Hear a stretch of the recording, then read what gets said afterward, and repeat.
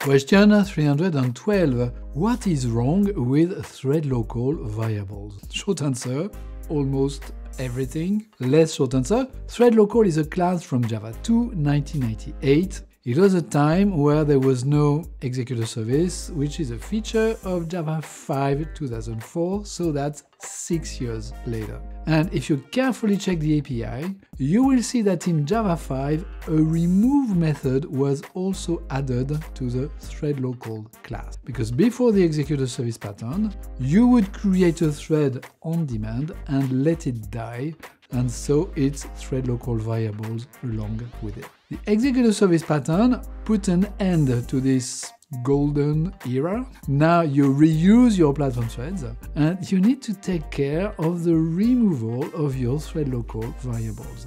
If you don't, all what you put in them can be reused by any other code that is running in the thread you were previously using. Probably not what you want.